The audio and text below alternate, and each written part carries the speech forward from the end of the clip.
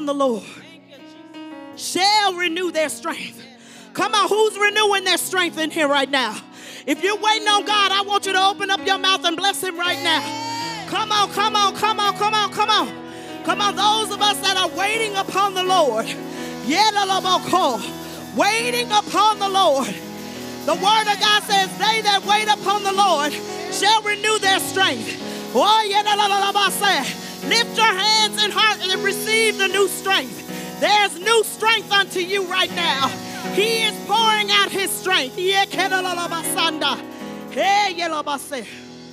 They that wait upon the Lord shall renew their strength. They shall mount up with wings as eagles. They shall run and not get weary. Come on. Is there some runners in here? I got some things that God done called me to run out in this lifetime. And Father, I thank you that we're not getting weary.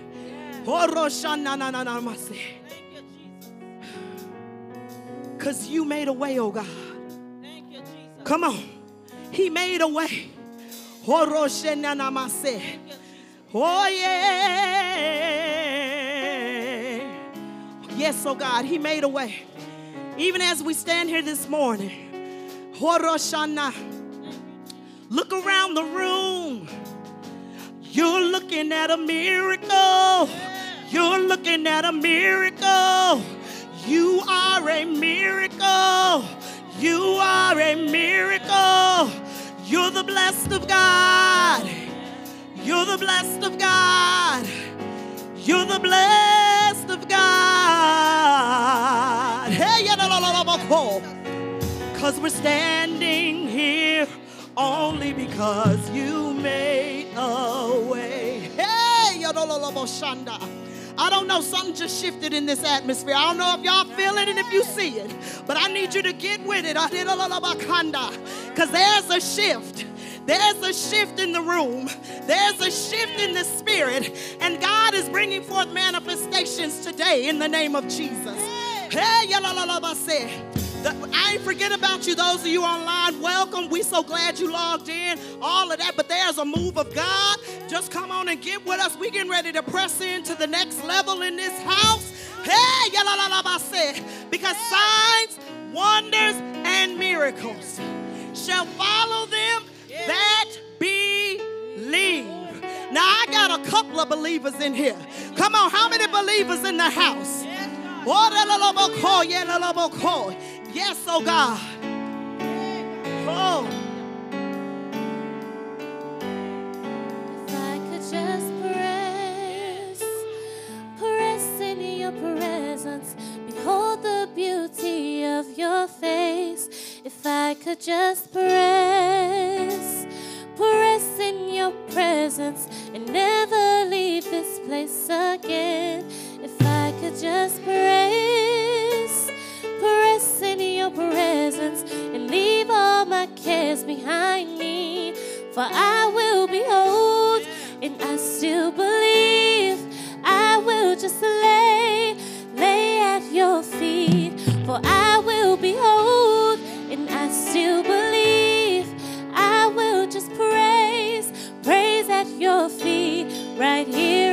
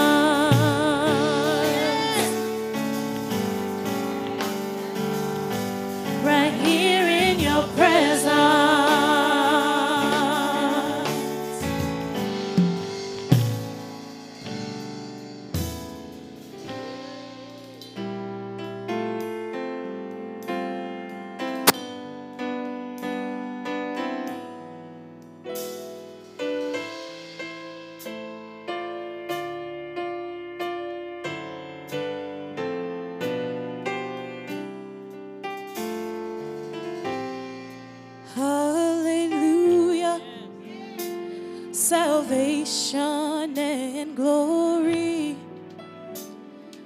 honor and power unto the Lord our God. For the Lord our God is mighty. Yes, the Lord our God is omnipotent. The Lord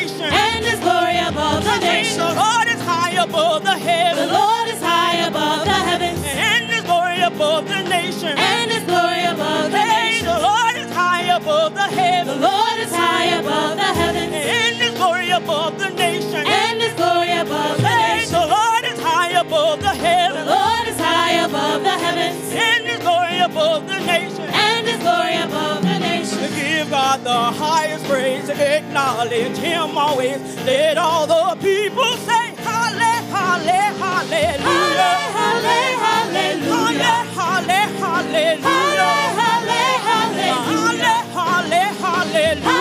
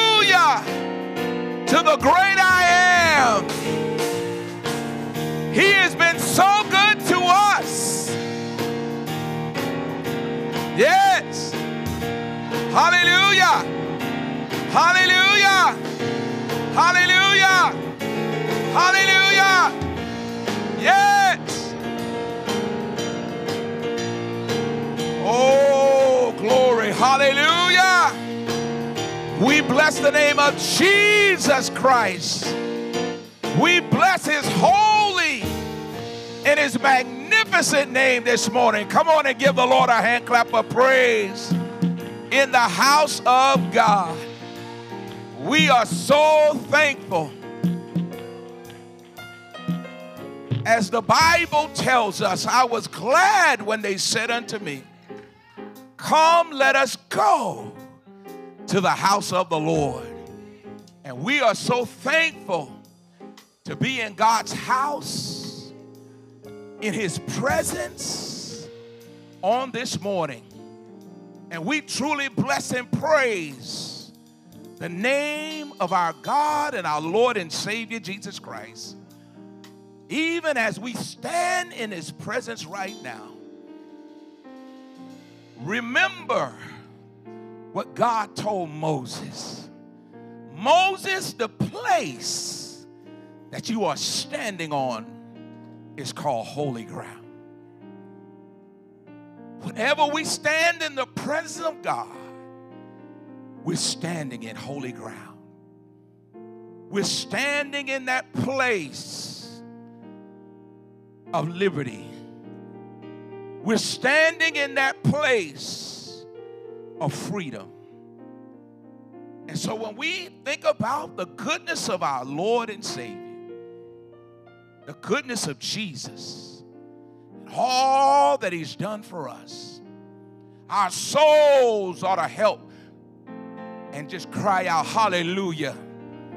Hallelujah to Jesus. Hallelujah to the Lamb of God. Hallelujah to the King of Kings and the Lord of Lords. Hallelujah to the great I am. Hallelujah to the Alpha and the Omega. Hallelujah to the beginning and the ending, the first and the last. Oh, we bless his name today because he is worthy of all the glory and the honor. The name of our Lord Jesus Christ is worthy of praise. Heavenly Father, we thank you this morning as we wake up and we rise up to give your name a shout. For the Bible teaches us that we ought to shout unto God with a voice of triumph. With a voice of victory, we shout unto you today, knowing that all of our help comes from you. You are the source of our everything. And Lord, we thank you that we have this privilege and this honor to have health and strength the ability and use of our limbs, Lord, we have nothing to complain about because you give us life, the gift of life, this day. Tomorrow is not promised, but this is the day of salvation. This is the day of hope and healing. This is the day of deliverance and breakthroughs. We thank you right now. All of those that have come from far and near, we thank you that they're in this Holy Ghost charged atmosphere, experiencing your worship and your praise. And Lord, even as we are experiencing your presence right now, we also want to experience the power that comes through your word. The instructions that help us in our everyday lives. We thank you now for a spirit of practicality, but also a spirit of obedience. That, Lord, everyone under the sound of my voice would see their place, see the opportunity to grow and to build and to live lives that are pleasing and acceptable unto you. We thank you right now in the name of Jesus that no one under the sound of our voice today will leave this house of God the same way that they came in. We thank you for people being delivered, saved, and set free, not only at Love Fellowship Church, but all around the world. We decree and declare your great and your awesome power that it will and it shall manifest in our lives. And it is in Jesus' precious and holy name we pray. And all in agreement, come on and shout with me, Hallelujah, Hallelujah, Hallelujah, Amen. Well, before you take your seats, welcome your neighbor, Amen. We welcome you to Love Fellowship Church today. We are so thankful that you that you are part of the worship experience this morning. We know that, amen, that God has allowed you to be here on purpose and for his divine plan and purposes to be fulfilled in your life. So we welcome you. We welcome you and we thank God for you. Amen. We are just so thankful for all that are here and those even that had it in their hearts to be here but couldn't be here this morning. We thank God and we bless his holy name. Amen. We are so grateful. And I believe there's a, a little celebration after service, I believe. Amen. All right. Praise God. Amen. So we will we will move right along in the word. Amen. I know that there's a celebration that that Minister Shauna wants all of you to join in with her and her family immediately following the worship celebration in the fellowship hall. Amen. Everyone say, live free. The title that we in, that we gave last week to this series was entitled Live Free. Amen. Turn with me to Galatians chapter 5. Let us just launch out from there today. Galatians chapter 5. It's one thing to have a concept of freedom, but it's a whole other thing when you're actually making it an everyday part of your life. That's what living free is all about. Amen. Galatians chapter 5. We're going to hang out here for a little bit. Uh, and then we'll go to several other scriptures. But in the New Living Translation, Galatians chapter 5, notice, notice what the Word of God says in the New Living Translation. The Apostle Paul is writing this letter to the church of Galatia. And he's giving them some very powerful and very practical instructions on freedom. Notice what he says in verse 13 For you have been called to live in freedom. Wow. He says, You have been called to live in freedom. How many of you know that's good news? Amen. It, the good news is, is that every one of us has been called by God and His Son Jesus Christ to live free. Every single one of us, amen, has been called to live free. This is a choice that we have to make each and every day.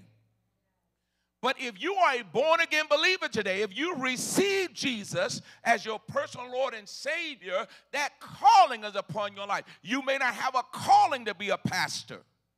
You may not have a calling to be an evangelist. You may not have a calling to be a minister or, or to sing on the choir or the praise and worship team, but we are all called to live free. We're all called to this same freedom that Jesus Christ died for us to have. Notice what it says again in Galatians 5 and 13 in the New Living Translation For you have been called to live in freedom, my brothers and sisters. But don't use your freedom, listen to this, to satisfy your sinful nature. Instead, use your freedom. Everybody say, I got to do something with my freedom. Instead, use your freedom to serve one another in love. See, when we think about what Jesus did for us, the fact that he died, he was crucified, and he rose on the third day with all power in his hand, when we think about it and we remind ourselves of what we talked about last week when Jesus talked about how he died to set us free from the bondage or the slavery of sin. In fact, we read it last week where the Apostle Paul said in Romans, the sixth chapter, that the wages of sin is what? Death. And so we understand that there's a consequence to a man living a life or a lifestyle that is contrary to the Word of God. That's really what sin is all about. It's living lifestyles or having behaviors or actions that cause us to displease God or to grieve God. Sin is disobedience to God and His Word. But here's the truth Jesus, amen, gave us a spiritual emancipation. When you think about, amen, what Jesus said in, in, in the Gospels, He said, You cannot serve two masters. He said, You will either hate one or love the other, or vice versa. You cannot serve God and mammon. And one translation said mammon is money, but mammon represents the world system. And so, amen, whoever you're serving, you are slave to that thing. And really, it's not a thing, it's a spirit, amen. So if you're serving to be more like the world, then guess what? You're a slave to the God of this world. But if you're serving to be more like Jesus Christ, then you are a man called by God to live free. You can't live free on your own. None of us, not even myself, no matter how much you study the word, no matter how much you pray, None of us have the willpower or the fortitude to live free on our own. So it presents a challenge. It presents often a daily struggle. How do we live free so that we can please God in the liberty that Jesus Christ has given to us? I want to submit to you that there's a warfare going on inside of us. How many of you know that? There's a spiritual warfare that's taking place on the inside of each and every one of us. Whether you believe it or not, whether you admit it or not, we constantly are in a battle. Amen. We are constantly in a fight. And some of us may be hearing this for the first time, but it's good that you're hearing it. And some of us, it is a reminder, but it's also good that you be reminded that, amen, your opponent doesn't like to lose. Satan is always looking for a way to do three things to steal, kill, and destroy. He never likes to lose a battle and he never likes to lose a fight. And I believe the Apostle Paul, amen, was preparing the church of Galatia for the internal battle and struggle that they were facing, whether they realized it or not. But I have good news today, amen, that God's word has the power to transform every one of our lives. But let's look at this warfare.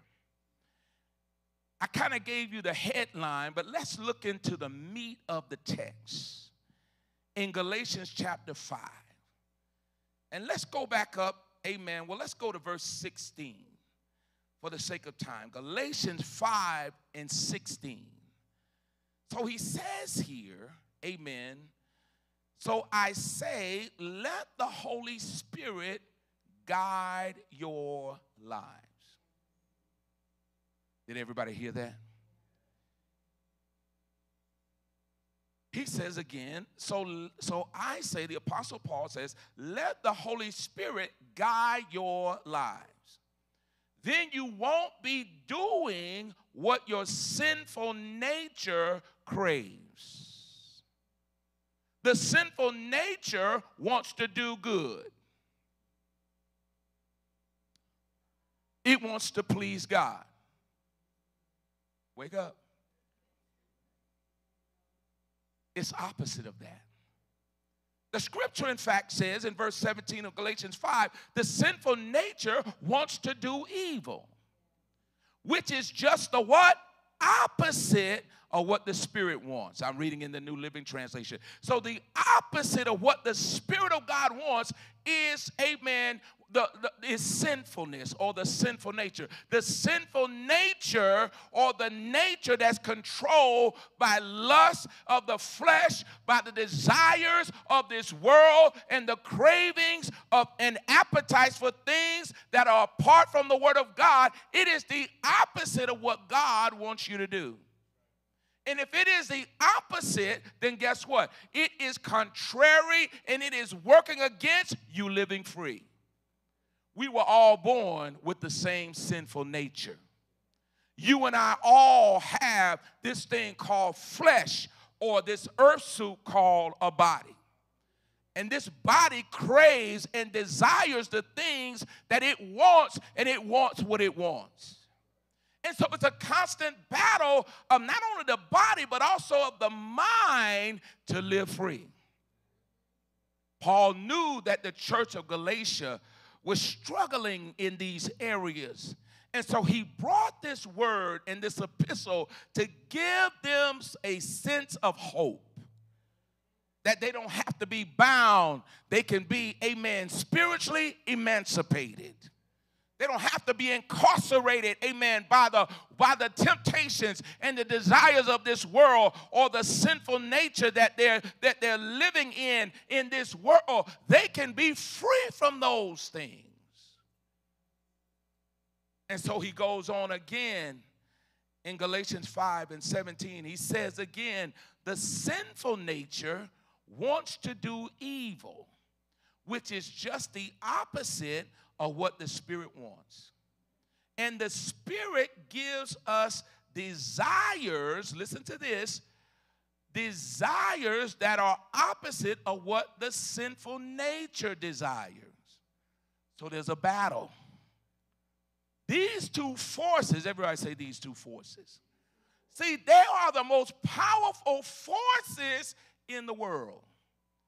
They are the most powerful forces that we will ever face. Because, amen, if you have a hater on your job, that hater, even if they're the boss of you, the supervisor of you, that hater cannot kill, steal, and destroy what God has already put inside of you. But what that hater can do is be under the influence of Satan and try to make your life most miserable. But we don't wrestle against the hater, amen. We don't wrestle against flesh and blood. The Bible teaches us that in Ephesians 6, but against the principalities, the powers, the rulers of darkness of this world, the spiritual wickedness in high places. These are where the attacks come from. I pray that you're paying attention today. These two forces, the Bible says, are constantly fighting each other. So you are not free to carry out your good intentions. The whole point of what Satan wants to do, once you get saved, once you receive Jesus as your personal Lord and Savior, the whole point of what he wants to do is discredit you. The whole point of what he wants to do is say, yeah, see, they're just another hypocritical Christian. They have no strength to live the life that they profess they live. Be a shame if God left us in that state of mind that we have nothing to fight with. It would be a shame if God left us in that place where the devil could just run roughshod over us. But I submit to you, he did not. Amen. Notice verse 18. But when you are directed by the Spirit, everybody say the Holy Spirit, you are not under obligation to the law of Moses. When you follow the desires, verse 19, of your sinful nature, the results are very clear. Now, what I'm about to read to you is not of an all inclusive list of sins. But I believe that these are sins that the church of Galatia were dealing with and struggling with at the particular time that Paul wrote this letter. And if we be real with ourselves, everything I'm about to read are struggles for the body of Christ today. Notice what he says as he lists, the Apostle Paul lists this, these, the, the, the temptations that are being thrown at the born again believers. He says, when you follow the desires of your sinful nature, here are the results. He says, the results are very clear sexual immorality, impurity, lustful pleasures, idolatry, sorcery, hostility, quarreling, jealousy, outbursts of anger, selfish ambition, dissension, divisions, envy, drunkenness, wild parties, and other sins like these this is the warfare. This is the battle. This is what keeps, amen, so many Christians undercover. This is what keeps so many Christians in a constant state of struggle. And if it, if it was just a one off, then we could maybe say, well, that was just for the church of Galatia, that these things don't really apply to me. But let me, let me amplify it even louder in First Corinthians chapter 6. We're talking about the warfare that takes place in every one of our lives. In First Corinthians chapter 6, starting at verse number 9, in the New Living Translation. Notice Paul again to another congregation. Notice what he says. He says, Do you not realize that those who do wrong will not inherit the kingdom of God? In other words, he was letting the church of Corinth know because they had a boldness with what they were doing to where they felt like, you know what, I can do whatever I want to do and there's no consequence. I can live however I want to live and there's no penalty for what I do. The sad part about where the body of Christ is today there are many that bought that same lie. There are many that are being deceived right now and saying, I can sing songs, and I'm not talking about praise team here or any other, I'm talking in general right now. I can sing songs, I can, I can, I can, amen, watch something online, but it doesn't really apply to how I live. And see, we'll never be victorious and we'll never live free if we don't start applying the Word of God to how we live. As long as how we live is separate from how we worship, then guess what? We'll continue to be hypocritical.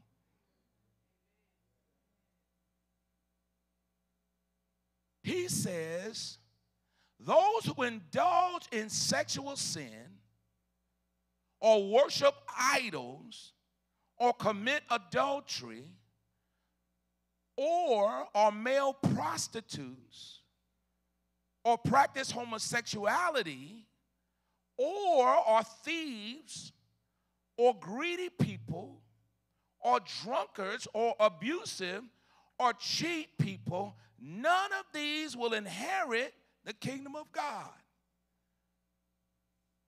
And I know I'm not getting a whole lot of amens. It is tight and it is right. Amen. Let me give you let me give you some insight. Sex outside of marriage is like playing with fire. And if you play with it long enough, you're going to get burned. If you missed it, the ABC National News gave a report back in April of 2023, just a couple of months ago, and said that nationally, across the United States, sexually transmitted diseases are at the highest level that they have been since in 70 years. This was on the national news, ABC, national news the highest levels in 70 years.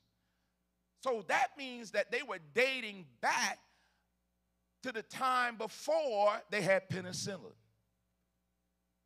So even with penicillin, people are still, amen, getting infected with sexually transmitted, transmitted diseases today higher than they were 70 years ago. What does that tell us? That it's not about the penicillin, it's about what's in your heart. Because, see, what's in your heart will produce the actions in your life. In fact, when you look at the rates of HIV and AIDS, North Carolina is ranked in the top 10 nationally out of 50 states ranked in the top 10. More cases than New Jersey and Pennsylvania. Almost as many cases as the state of New York. And we say, I'm not hurting anybody. I'm not, I'm just doing me. I'm just being who I want to be. Now, don't shoot the messenger, amen.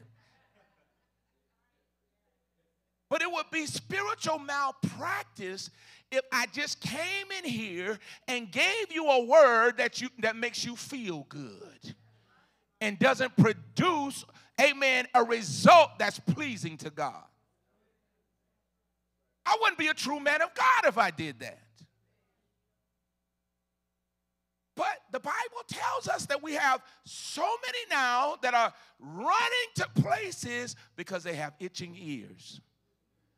They don't want to hear this because this affects their lifestyles, their attitudes, and their behaviors. But Paul was in a position where he didn't have just one church he was dealing with, but he had two churches. He had the church of Corinth and the church of Galatia, and they were all in this inner spiritual warfare battle and struggle. And Paul was trying to let each and every one of them know Jesus died to set you free. There is no new sin under the sun. you can take a song, a secular song, and break down the lyrics today, and it'll match lyrics from 50, 60 years ago. Because at the end of the day, amen, if they're leading you in a direction away from God, that is that is as ancient as Paul's text to the church of Corinth or the church of Galatia. In other words, amen, we must understand, realize, and recognize that we're in a serious battle. All of us, including myself, we are in a serious battle. We are in the fight for our spiritual lives. He goes on to say, as we continue in 1 Corinthians 6, he says, Some of you were once like that. But you were cleansed. Anybody been cleansed through the blood of Jesus? He says, but you were cleansed. He's, he's giving them hope. Amen. He says, you were made holy. he said, you were made right with God not because of your own righteousness. He said, but you were made right with God by the calling of the name of the Lord Jesus Christ and by the Spirit of our God. See, amen, the Bible tells us in Second Corinthians 5 and 21 that he who knew no sin became sin for us that we might become what? The righteousness of God through Christ Jesus. We don't know how to be right or righteous, but Jesus extended God's righteousness to us. You ought to thank God for that, amen that Jesus extended the righteousness of God to each and every one of us. And when we receive Jesus Christ as our personal Lord and Savior, that righteousness that He had, now it belongs to us. And so we cannot be what we want to be, we have to become new. We have to become a new creation. And once we become new, then guess what? The fight still continues because the enemy won't stop. I hate to tell you this, but the devil doesn't stop. I hate to tell you this, but sin will be in the earth as long as the earth remains. But it doesn't mean it has to be in you. I said it can be in the earth. We're not talking about that. We're talking about it being in you. In other words, being a part of your lifestyle, being a part of your mindset, being a part of your behaviors. How many you know God, amen, has given us some great weapons? He's given us some great weapons. Because without the weapons of God, we would not be able to fight. Amen. I'm going to remind you of this, but I'm going to remind it to you in 1 John 4 and 4 in the New Living Translation so that you can understand that living free is in your reach. You can do this. If you are a born again believer, you can do this. I said, if you are a born again believer, you can resist the temptations that are being thrown at you each and every day. If you are a born again believer, you can live the life that God's word is commanding us to live on a daily and regular basis. You can do this. I challenge somebody to say, I can do this. See, you can do it if you submit to it. Notice what it says in 1 John 4 and 4. But you belong to God, my dear children. You have already won a victory over these people. Because the spirit who lives in you is greater than the spirit who lives in what? See, you have the greatness of God in you. How can you say God has left you hopeless and God has left you helpless? You have the greatness of God in you. Somebody ought to be able to say that. Amen. See, some people can't even fix their mouth to say. I have the greatness of God in me. I have the greatness of God in me. I have the greatness of God in me. Even when you're going through your emotional state of mind, you ought to be able to look yourself in the mirror and say, Self, I have the greatness of God in me.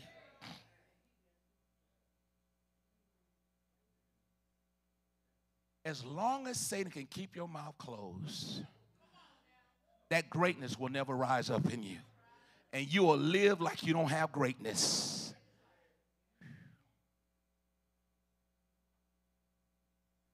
Tell your neighbor, I've got greatness in me. See, this greatness is called the Holy Spirit. It's not called by your name, it's called by the name that God gave. It's called the Holy Ghost.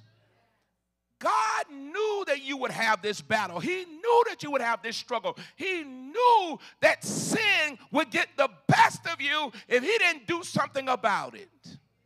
And he did something about it too, baby. He did something greater than what you can even imagine. Because greater is he that is in you than he that is in the world. He gave you a dynamic duo called the Word of God and the Holy Ghost. And between the two, they can kick and they can fight and they can keep you if you want to be kept.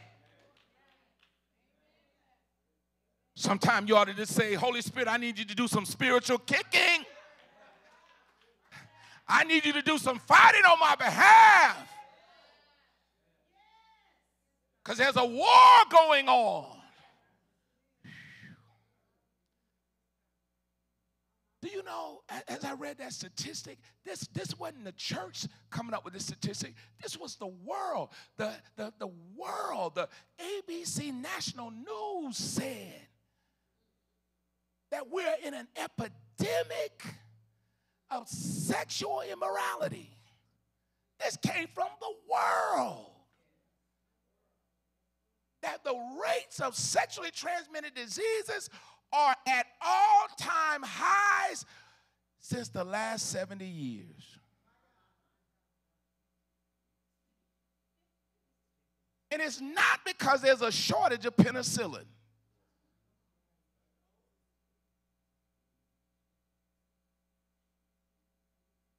It's not because there's a shortage of doctors that are wanting to treat you if you get burned. Because if you play with fire, you will get burned. I said that, amen. See, it's not doctors and medicines that's the problem.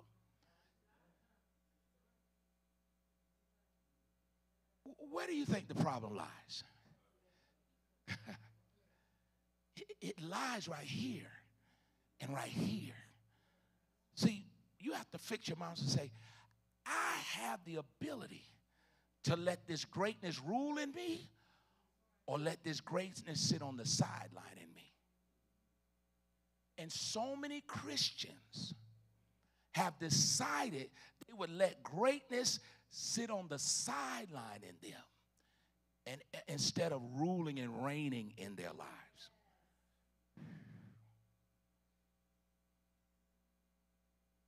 Are you receiving this today? Hmm. Listen to this. When Jesus made the promise of the Holy Spirit, he was making a promise that he would give us supernatural ability, power, and might. He would give us supernatural power, ability, and might in order to fight. Because without the power of the Holy Spirit at work in our lives, we have nothing that we can truly fight with. Well, Pastor Anthony, I believe in the power of positive thinking.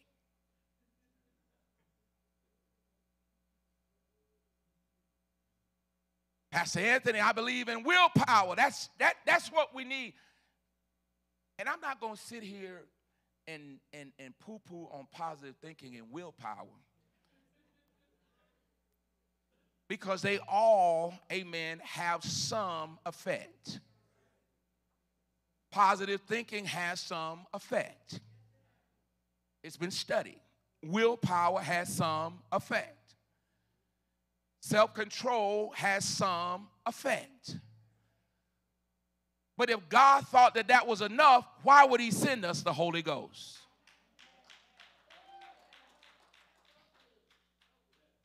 Can you imagine, amen, if the people that believed in positive thinking and willpower had the Holy Ghost and they allowed the Holy Ghost to have his way in their lives?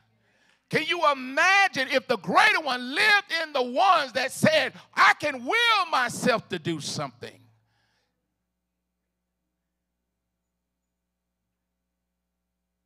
But there's so many orphan children and abandoned children because people, amen, could not control their flesh. There's so many people dying of opioid addiction because people cannot control on their own their flesh. There's so many people that are taking that tranq right now and getting holes in their heads and sores that they can see through their legs and see their bones because they don't have the ability to have that enough willpower to say no to that needle. And if you think we're not in an epidemic, amen, you've been sleeping under a rock. Because all the world is crying out and saying, We're in an epidemic. We're all time highs of drug use and people dying of overdoses, all time highs of this and that. Where is the Holy Ghost? Where's the Holy Ghost in your life? Where is this greatness in you? I find it hard to believe that with the Holy Spirit, amen, being sent by God, I find it hard to believe that everybody is relying upon the Holy Spirit. Because if we truly were, we wouldn't see what we're seeing happening in the world today. Turn with me to John 8 and 32.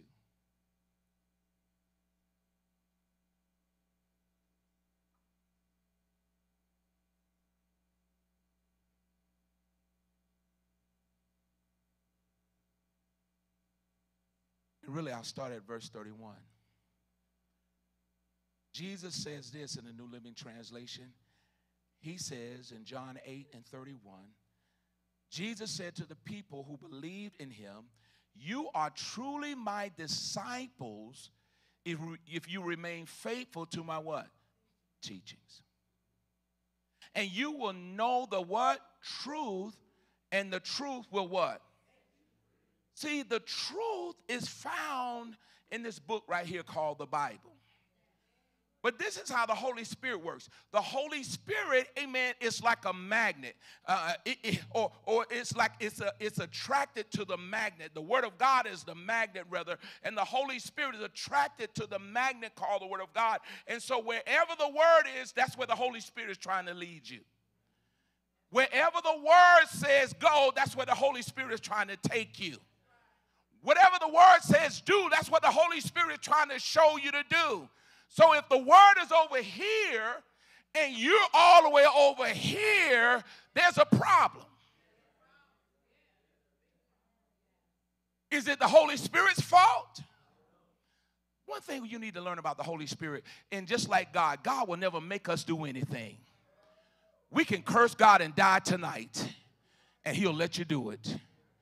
You can go and join a cult tomorrow, and He'll let you do it. But he won't let you do without convicting you. He won't let you do without warning you.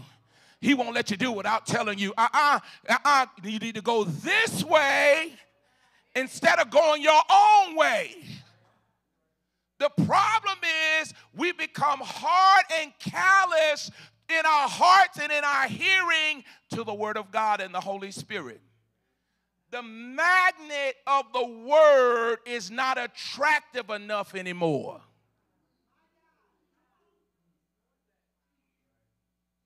I need to say this again. The magnet of the word is not attractive enough anymore. This is why you find churches in a race to spend millions and thousands and hundreds of thousands of dollars to attract people because they don't see the word as the magnet anymore. We need other things.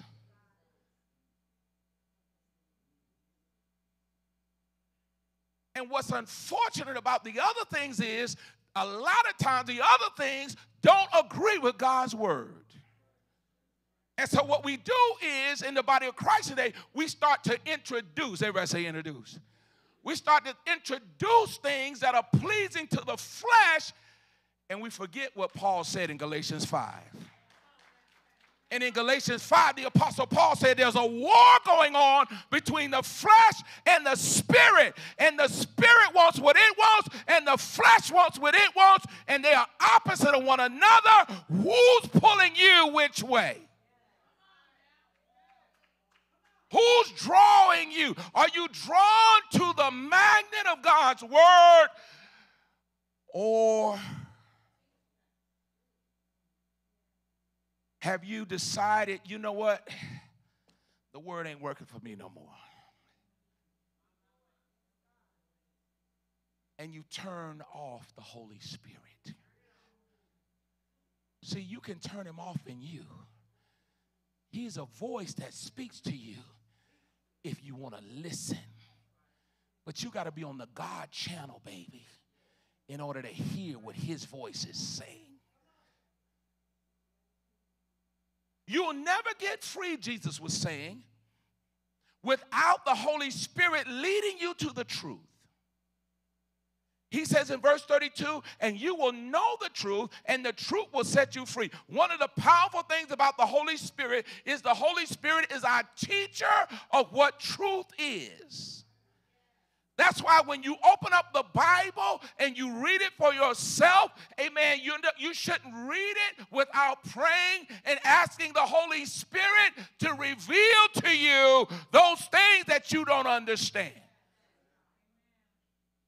A lot of times people don't want to read the Word of God because they, I don't understand it, and that's a true statement, but you got to go beyond your truth because God has given you the Holy Ghost and what you do is you say, Holy Spirit, now I, in my natural mind, I cannot understand this, but I know you know all things. And the word Jesus said, the truth shall make me free. And I don't want to be in bondage. I want to be emancipated from every demonic force and power of the enemy.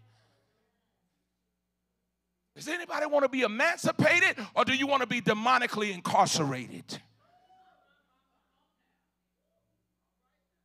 See, we have to come against demonic incarceration where we say we're going to do it our way instead of Yahweh. That's bondage, that's slavery.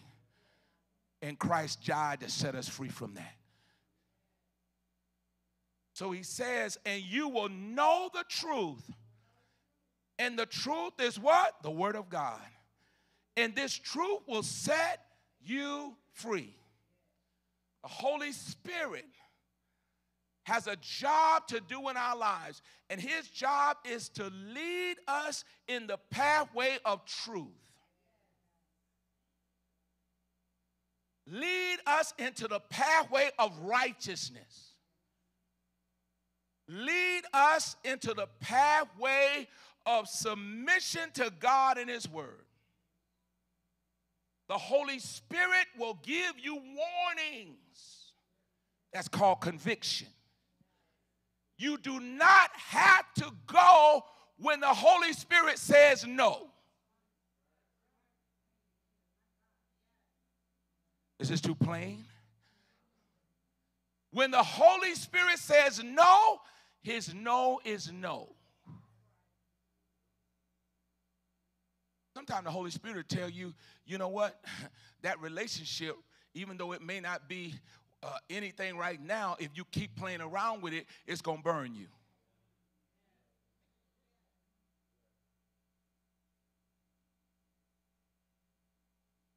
The Holy Spirit is a gift that helps us to live free, to be spiritually emancipated from the demonic incarceration in our minds, in our hearts, and in our lives that the enemy tries to hold over our heads each and every day. You cannot serve two masters. You have to make a choice. And regardless of what the next Christian is doing or the next believer is doing, what will you do? What will you do? Let's go back to 1 Corinthians 6.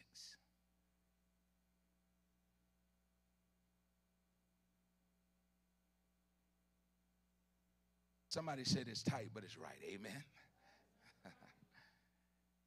1 Corinthians 6. And I'm reading in the Amplified Classic Version.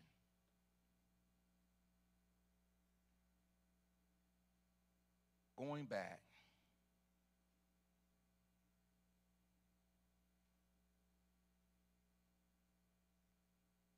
In the Amplified Classic, starting at verse number 11, it says this And such some of you were once, but you were washed, clean, purified by a complete atonement for sin, and made free from the guilt of sin.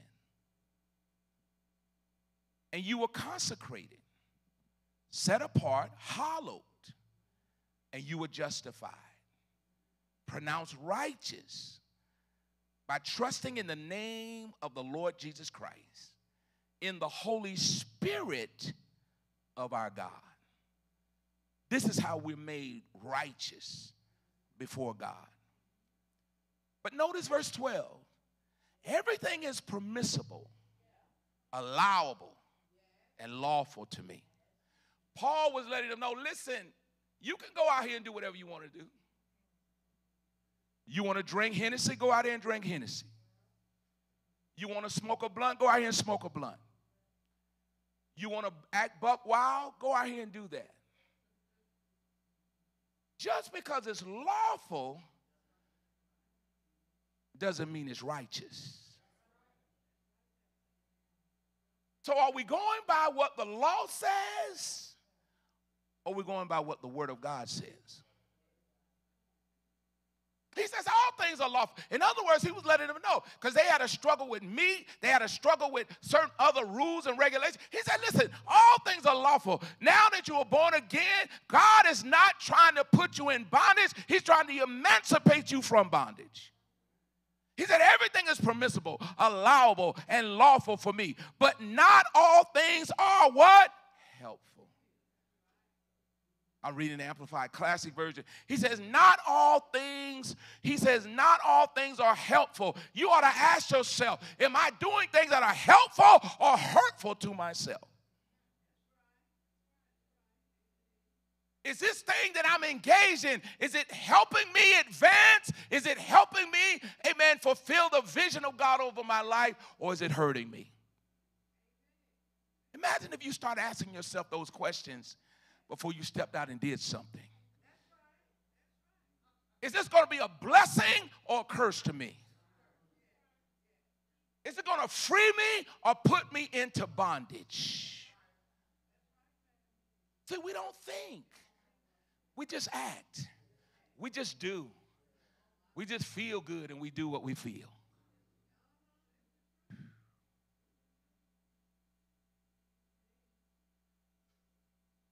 And the sad part about it is they're very one statistic I read said that in the last three years, 2019 or four years, the rate of salvations and those that are accepting Jesus Christ and calling themselves Christians is going down. Think about the consequence of that. That means that there are less and less people being drawn to the magnet of God's word. And if there are less and less people in the world or in society drawn to the magnet of God's word, no wonder the, S, the, the statistics about STDs are going up. No wonder there's so many drug overdoses. No wonder the divorce rate is through the roof. Because, amen, the, the standards that we used to have, people are not following anymore. Even in the church, they're making new standards and they're making new ways, but it don't change the word of God.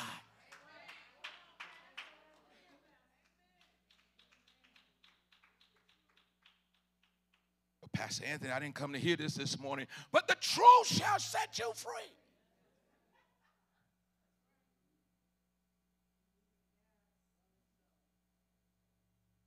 Holy Spirit led you to hear this this morning.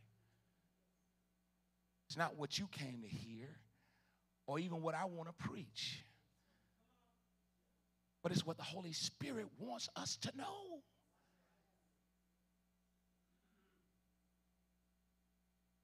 Well, will you hurry up, Pastor? Yeah, I'll hurry up.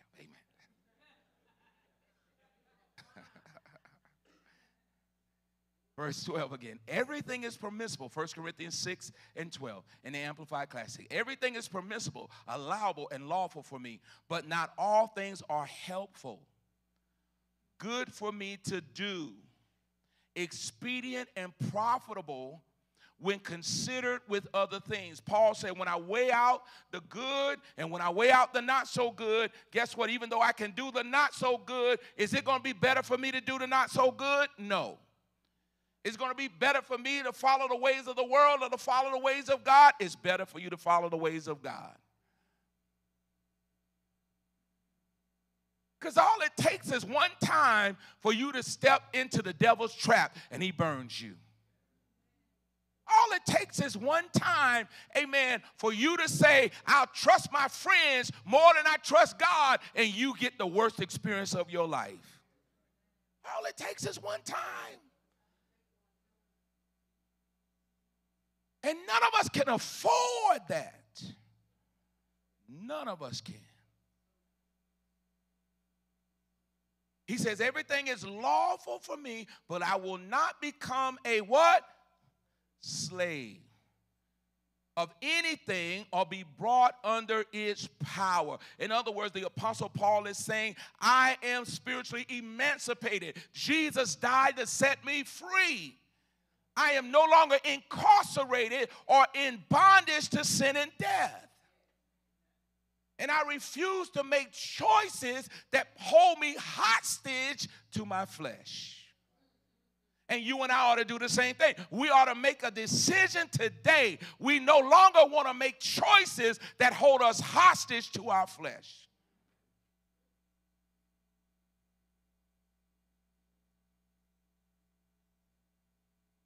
Paul goes on to talk about food because they had an issue with whether or not food, the eating of certain food given to idols, whether or not that was going to be pleasing to God or not. Many times we don't have this issue today. A lot of us, we eat whatever we want to eat. And Paul was basically telling them, amen, to be careful about getting in bondage to the law when Christ has set them free from the law. Same thing he was telling the church of Galatia.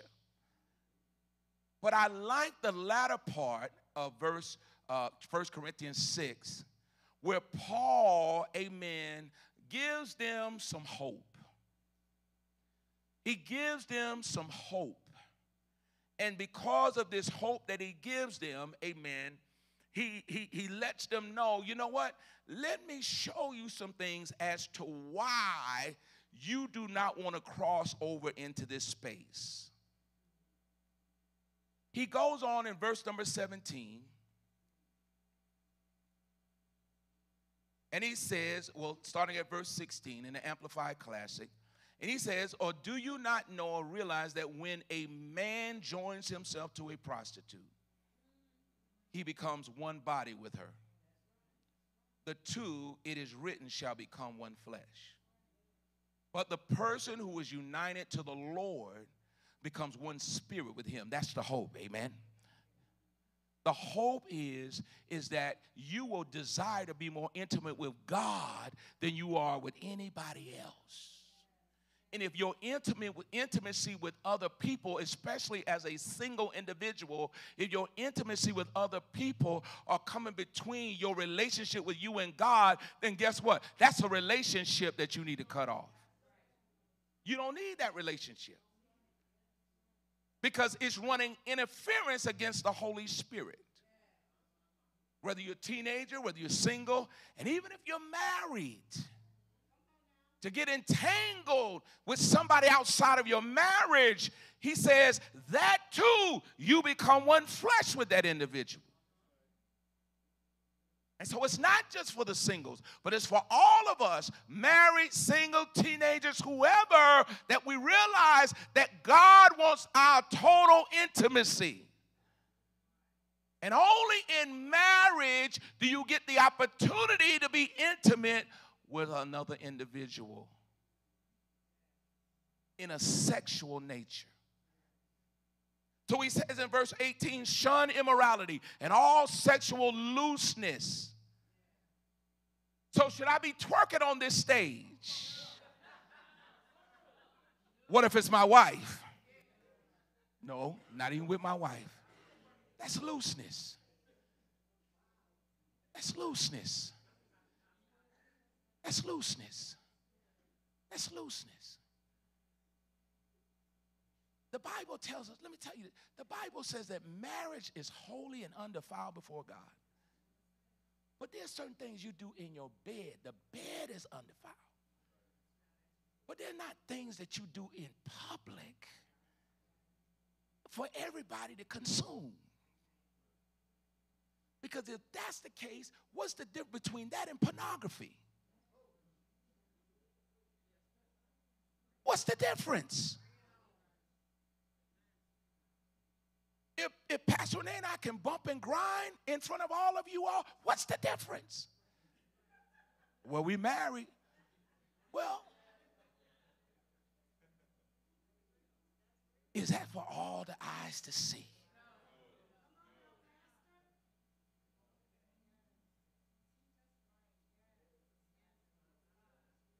And you got people lying on God and saying, they're free, they're getting free. Y'all in bondage, but they're free. No, no, no, it's the opposite. It's the opposite. Remember, Galatians 5, the spirit is opposite of the flesh.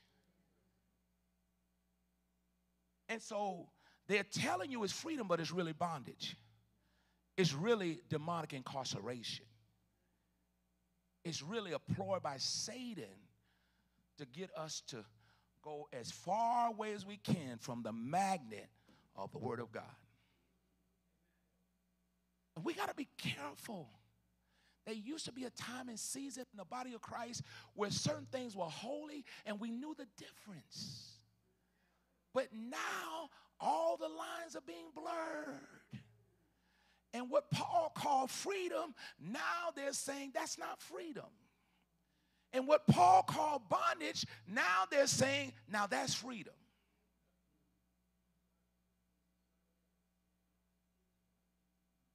And so everything is being confused and mixed up and twisted up for a reason.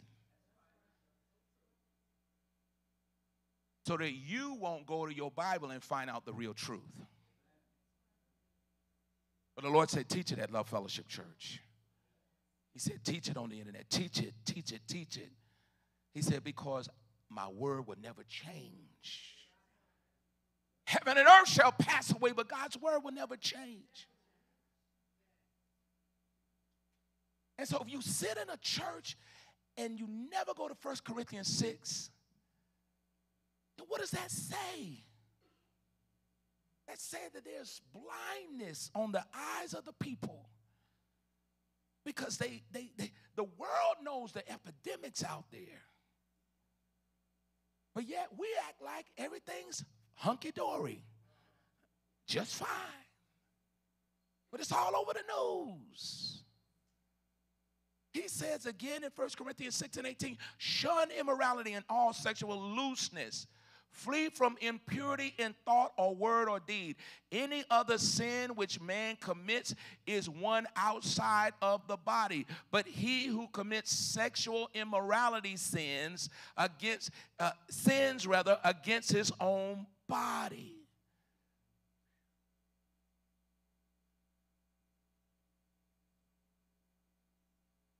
There's no other sin that's been scientifically linked to death like sex, sexual sin. It's been scientifically linked to AIDS. It's been scientifically linked to sexual transmitted diseases, which also can lead to blindness, paralysis, and death. There's no other sin like that. And Paul says we have an epidemic and we need to check ourselves before we wreck ourselves. But here's the final part of this. He said, Do you not know, verse 19, do you not know that your body is the temple, the very sanctuary of the devil?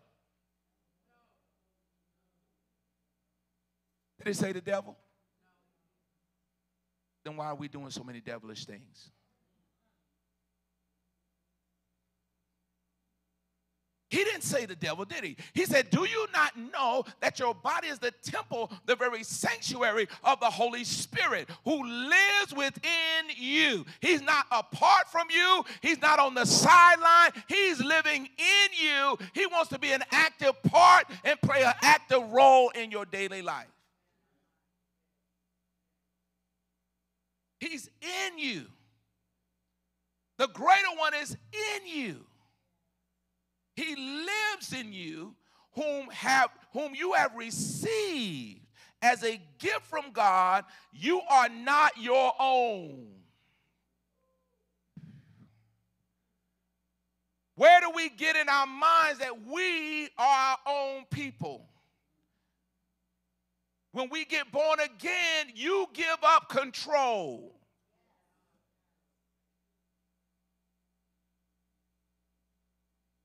That's a hard thing to hear. But when you are born again, you give up your control over your life so that the Holy Spirit can have control over your life. Because the Holy Spirit will lead you and guide you into all truths, and those truths are there to make you better and not worse. Everybody say, I'm precious. He says, You are bought, you were bought with a price, purchased with a precious and paid for, made his own. You are precious. You are precious. Don't sell yourself for cheap. You're precious. And I'm not saying it, the word says it. Because the preciousness of the Holy Spirit was poured out upon you and lives in you, and that makes you precious. That makes you priceless, that makes you invaluable, that makes you beyond what the world can offer for you. So if you've not heard it in a while, I want you to know hello, you are precious. Because you have a precious gift living on the inside of you called the Holy Spirit. You are precious in the eyes of God. Because you were bought, verse 20, our final verse, you were bought with a price, purchased with a precious and paid for, made his own. So then honor God. How? And bring glory to him in your body. Honor him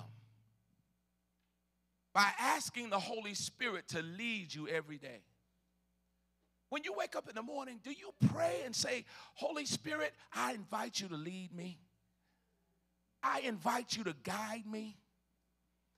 One of the favorite, favorite prayers that I pray, Holy Spirit, I'm getting in the back seat so you can have the driver's seat of my life. Because I want you to drive me today. How many want the Holy Spirit to drive them? I want you to lead me. I want you to guide me. I want you to lead me in the pathway of truth. I want you to bring to my remembrance what the Word of God, the true bearing standard, has to say. And then when you get into situations and circumstances, regardless of what they are, before you act, ask the Holy Spirit to give you wisdom and guidance. Because that's how God speaks to us now. When you say God is speaking to you, the correct thing to say is through the Holy Spirit because that's what he left you. He left you his precious gift. And if the Holy Spirit is called precious here, then guess what? And if he lives in you, then you're precious.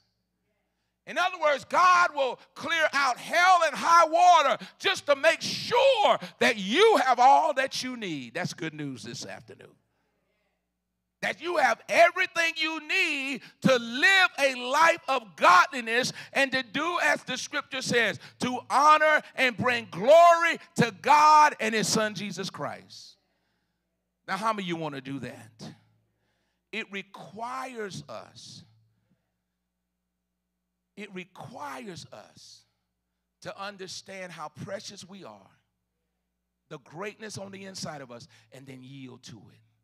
Allow that greatness that's in you to lead, guide, and direct you.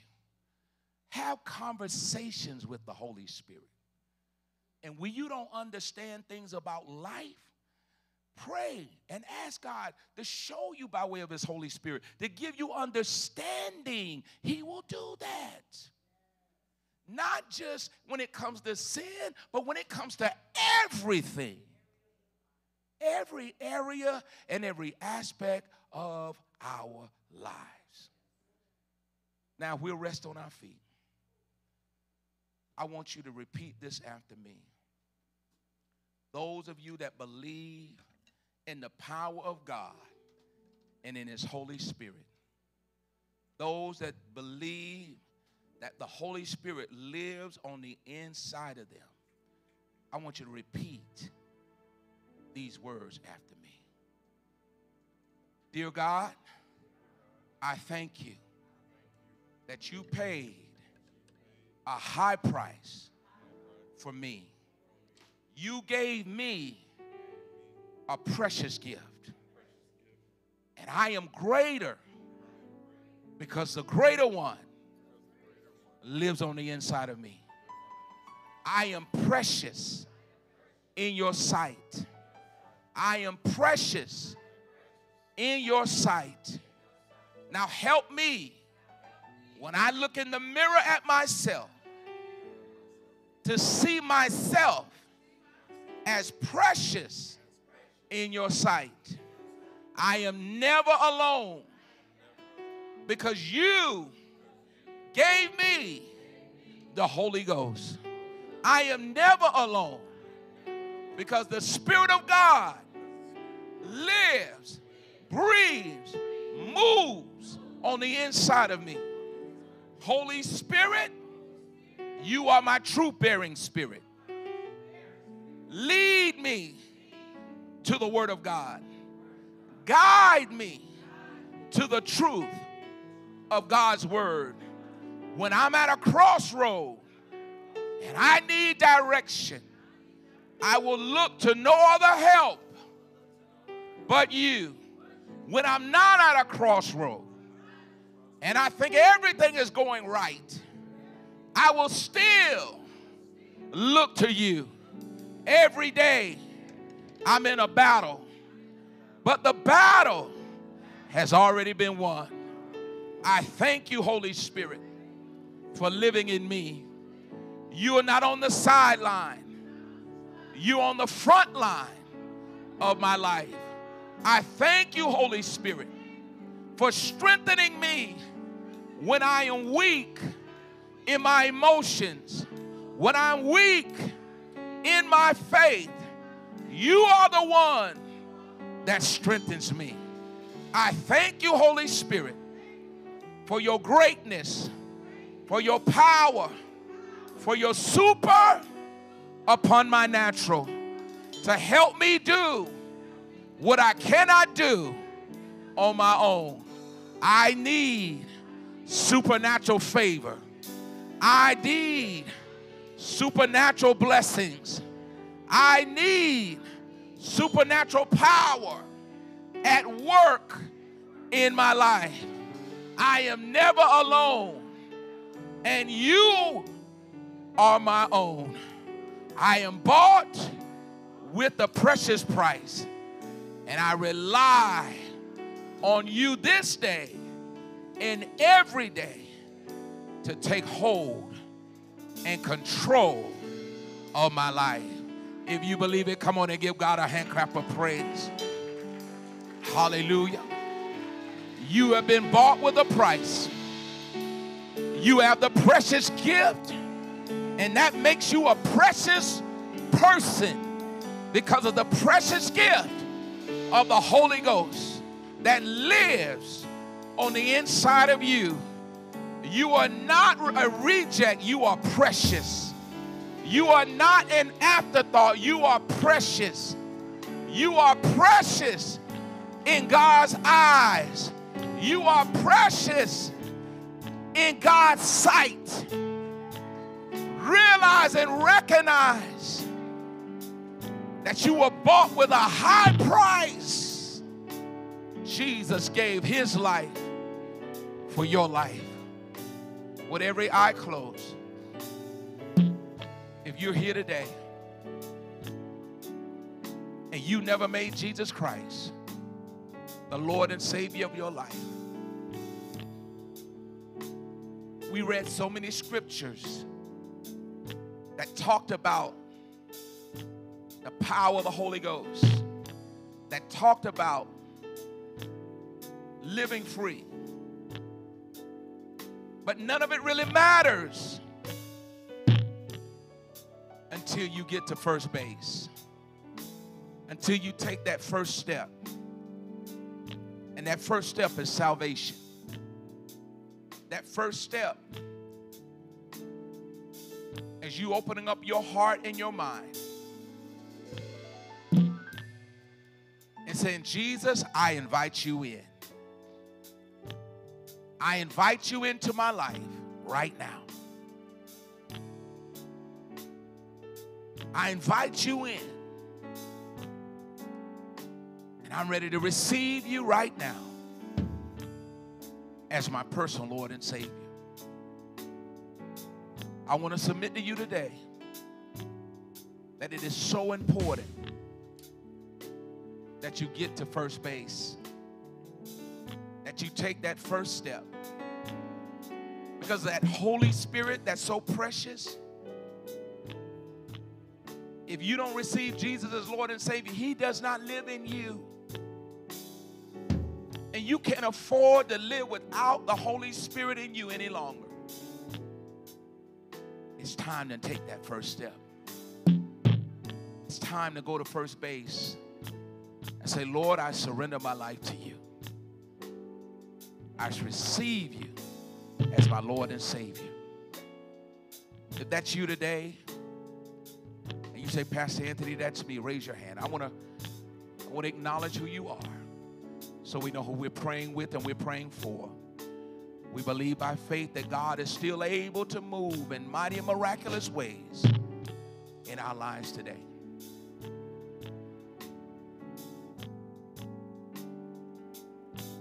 I want to deal with this issue of preciousness.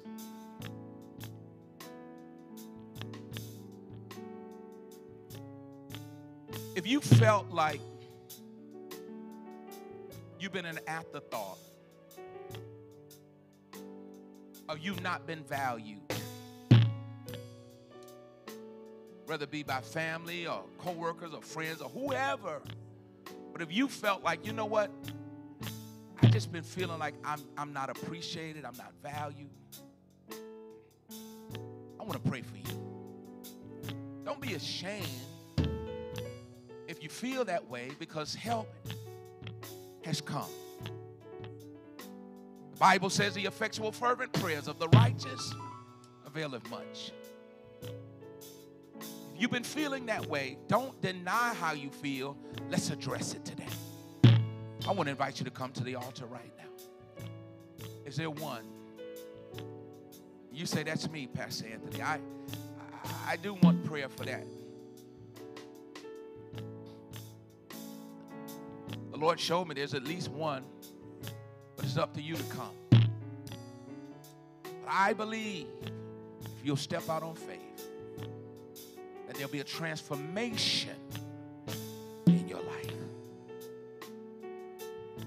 been feeling that way, whether it's a short time or a long time, I'm inviting you to come.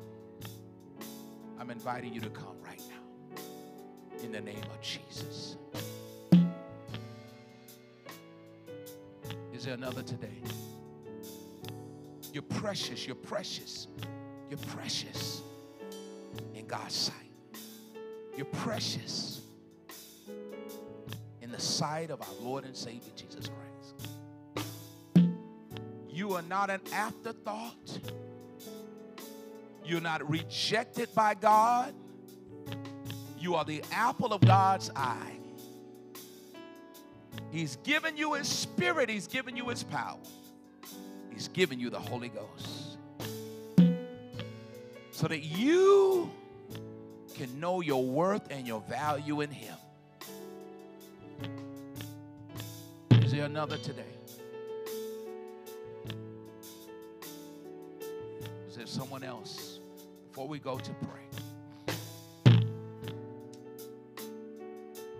Thirdly, if you desire to connect with Love Fellowship Church and membership, covenant connection, we invite you to raise your hand as well. We want to receive you into this family with open arms and love. If there's one in the congregation, Minister Shauna, can you can you pray? Hallelujah, oh God. We just love you, oh God. We just come worshiping. We lift our hands and hearts before you, oh God, for you are a faithful God. Father, we thank you for how you have moved in this house today, oh God. We thank you that signs, wonders, and miracles have truly manifested, oh God. We thank you for divine restoration, oh God, divine reconciliation, oh God. Father, we thank you for vindicating us back unto you, oh God. Father, we thank you for a shift in our mindsets, oh God. We thank you for a shift in our vision, oh God. Father, we thank you that we can see, oh God, your glory, oh God. Father, we thank you, oh God, that visions are being resurrected in this house, oh God, even as we stand here, oh God, lifting our hands and hearts, oh God. Father, I thank you, oh God, that you promised us that we would see dreams and that we would, our young men would dream dreams, oh God, and our young girls would, would see visions, oh God. And Father, I thank you, oh God, that we have your vision, oh God. Father, because in your word, oh God, you said without a vision, the people perish, oh God. And you've given us a great and a mighty end and a destiny, oh God.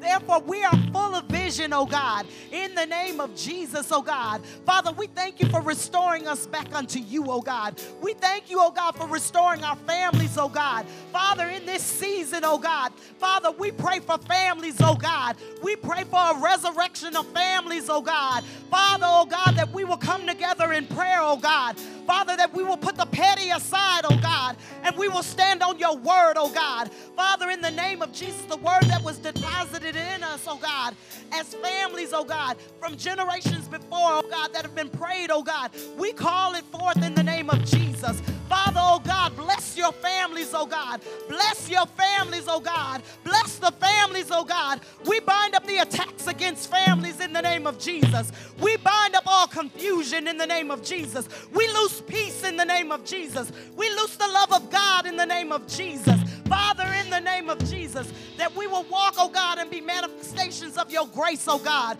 Father, that we would be manifestations of your love, oh God, in the name of Jesus, that the fruits of the Spirit would fully flow, oh God, in our families, oh God. Father, in the name of Jesus. Father, we thank you, oh God. We thank you, oh God.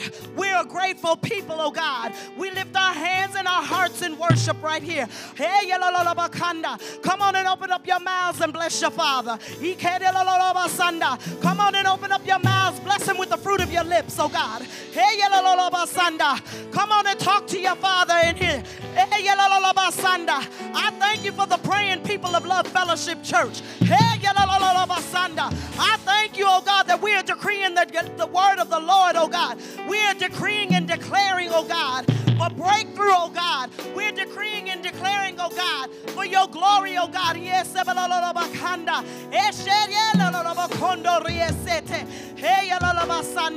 Father, we just bless you right now. We give you the glory, we give you the honor,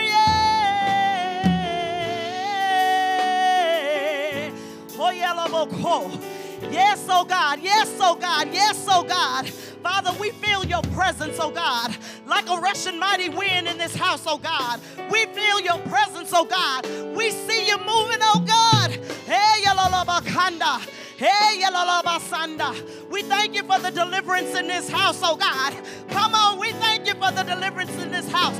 We thank you for breakthrough. Hey, we thank you for breakthrough. We thank you for breakthrough. Yeah. Yes, oh Lord. Yes, Lord. Hey, Father, we thank you that you are healing our hearts, oh God.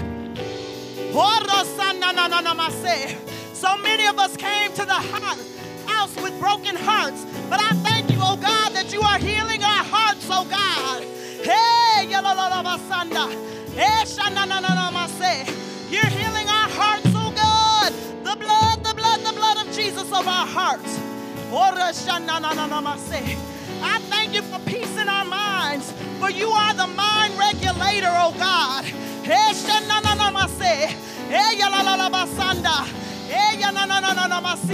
We have a new mind in Christ. We stand on your word, oh God. We stand on your word. We believe your word. The report of the Lord. Yes.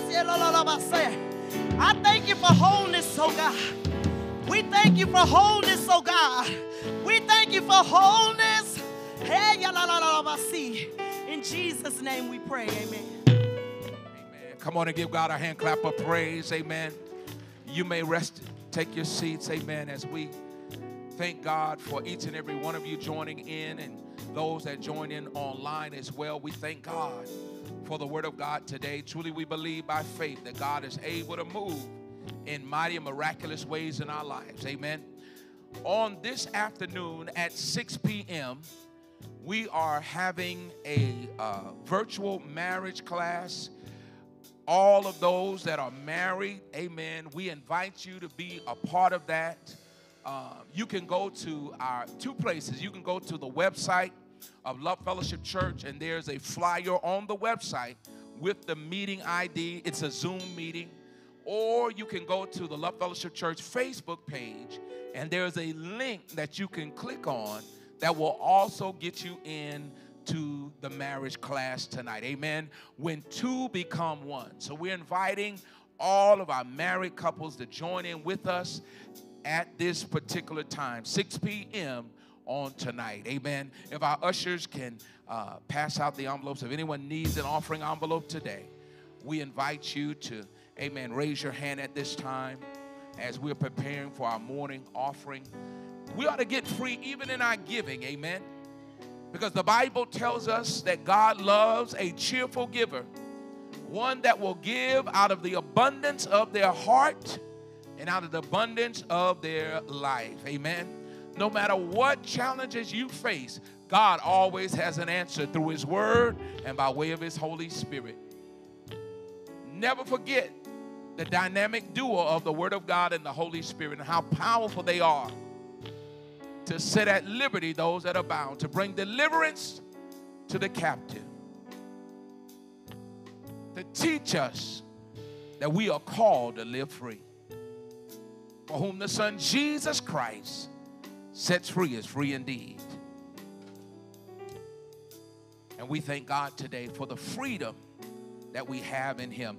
Also, also for all the men, amen, whether you have signed up, if you haven't signed up, we have a sign up sheet for our Father's Day breakfast, which will be at 9 a.m. on this on next Sunday, the 18th, 9 a.m right here in the fellowship hall, we prepared or going to prepare a beautiful breakfast in honor of all fathers. Amen. So we invite you to come out. Please sign up in the foyer area. We want to make sure we get an accurate head count for all of those that will be coming and connecting. Uh, and that includes young men. So, all men and young men, amen. It's not about if you're a father, but it's about being a man or a young man. We want you to be a part of this breakfast celebration at 9 a.m. on this upcoming Sunday, Father's Day Sunday we ask you come and invite a friend as well. Amen. So at this time, if we can uh, collect our offerings, amen. Praise the Lord. Hallelujah. Praise God. Thank you, Jesus. Oh, we thank you, Heavenly Father. We thank you, Lord, for your great and awesome power manifested in the lives of every born again believer that is under the sound of our voice. Everyone that is listening online, we thank you for the word of God coming to set them free. For whom the Son Jesus the Christ sets free is free indeed. We thank you, we praise you for your great and awesome power manifesting in their lives. And then lastly, we are celebrating the Perkins. Amen. Let's give them a hand clap. Amen.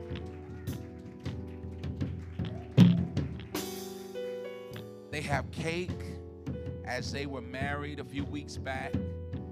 God blessed me to have the privilege of marrying, amen, this power couple, and we thank God for them and all that God is about to do in their lives. And we invite you to hang out with them, amen, for a few minutes, grab some cake, uh, congratulate them. So many people don't honor marriage, they don't even care about marriage, they don't even think about marriage. Marriage is just an afterthought. It's something that uh, I'll do it if I want to, but I don't have to. But I, but I believe what the Word of God says that marriage is honorable, amen, in the sight of God. It's honorable. And so when when when a young couple, amen, decides to to get married, that's a high honor as well, amen. And so let's celebrate with them. Let's let's pray for them. Let's encourage them. Amen. Let's believe God that what God put together, no devil in hell or no person will be able to separate. Amen. Praise God. Let us rest on our feet as Deacon Britton comes forward. Amen. Praise the Lord. Heavenly Father, we thank you right now in the precious name of Jesus. We thank you for the word of God. We thank you for all of those that are not only hearers, but doers of your word today. Live free, live free, live free you have called each and every one of us to live free. Even in our giving, we must be free. So, Lord, we thank you for the gifts of love, the tithes, the offerings. We thank you, Lord God, that they are being used for the advancement of your kingdom, for the saving of lost souls. Lord, we thank you that the poor and the needy will be helped, even through the giving on today. And we just bless you and we praise you in Jesus' name. Now, God, even as we prepare for the benediction right now, we close out this service and we transition over to the reception. Lord, we pray that this week will be better than last week. This week will be greater than any other week that we've experienced since we've been on this earth because we're going to live free. We're going to live totally free for you. We're going to allow the Holy Spirit to do what only the Holy Spirit can do in our lives. We thank you, we honor you, and we praise you for the freedom that we have in you. And it is in Jesus' precious and holy name we pray. Amen. Hold fast just for a moment. Are there any first time guests?